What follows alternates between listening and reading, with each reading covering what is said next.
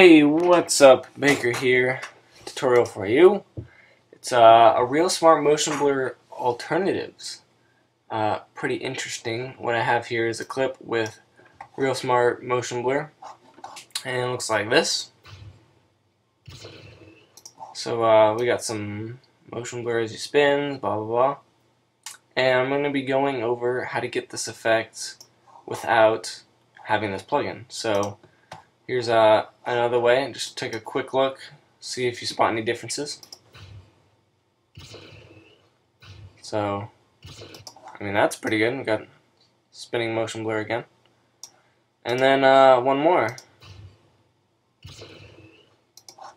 All these have uh, pretty close to the same effects. And uh, let's get right into it. So I'm going to take this clip, drag it into a new comp. And we got this. And what I'm going to do is, uh, see, make sure this is on quarter so it runs a lot faster when you're working. Right before he shoots, I'm going to bring this in here, or just push B and it'll snap to this.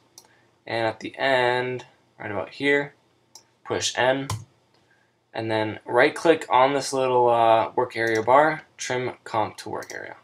Boom. So now we just got to comp this size. Um, yeah. So here's the first one. Make an adjustment layer. Go ahead and type in force motion blur. We have CC force motion blur. Pretty cool. And this uh, this should come with your After Effects if you uh, downloaded it correctly. Um, okay, so nothing's really happening right now. So what we're gonna do is, let's see, go down to your clip down here, and the button that says frame blending, interpolates, blah, blah, blah. Click it once and that gives you draft. Click it twice and that gives you best quality. And then turn on the frame, frame blending for the comp. Right there. And that should give you... And it's going to be slow, yeah. So we got some blur right here. And um, the blur samples is, uh, if you kind of look, if I set this down to like 2, there's like two copies. If I increase this to 3, there's a uh, like kind of like 3 copies, if you kind of see that. So the higher it is, the better quality you'll get, but the slower it'll render. And then the shutter angle is basically how much blur. So if we increase this to 360, it's going to be like a longer, longer blur. So I like to keep it low and maybe set this down to like 5. And uh, again, while you work, you don't want to have it on full.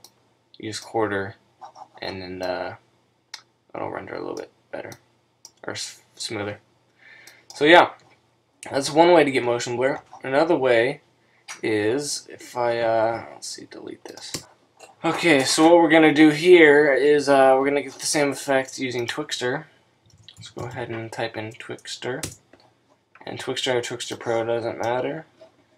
And um, see, our composition is at 59.94, so let's change this to 59.94. Okay, so essentially won't, we won't get any warping right now, no effect at all. And what we're going to do is, bear with me, take our clip and pre-compose it and move all attributes. Okay, so let's double click, go in here, and uh, we've got this clip again.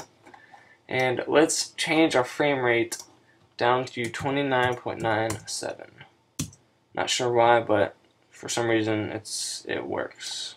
I don't know. Okay, so first let's duplicate our clip, and we need to stretch our duration twice as long. So uh, 89 times 2 would be 178, obviously.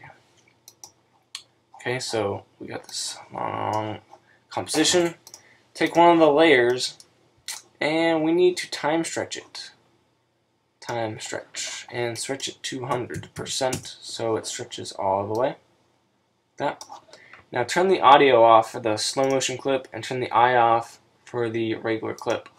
So we have the audio from the normal speed and the video from slow motion. Now we go back into Twixtor comp and uh, we're getting some some weird warping what we're going to do is, let's see here, set the speed to 200%. So that basically turns everything back into normal speed. Pretty laggy, but let's see. Come on. Come on. There we go. Normal speed. And uh, let's set the frame interpolation to motion weighted blend. Uh, motion blur compensation right here. And 0.5. So what that gives us, gonna be pretty slow, but just a little bit of blur when he spins. It's uh, it's confusing, I know, but yeah, that's about it. So what I would suggest is just sticking to the um, CC Force Motion Blur because uh, it comes with it. You don't need Twixtor or anything. It's a lot simpler, but I just want to show you you can do that with Twixtor without uh, ReelSmart motion blur and all that good stuff. Um, yeah, check out any of my other tutorials, you guys. Um, trying to help you out, so help me out. Like my video, please comment, all that good stuff, and peace.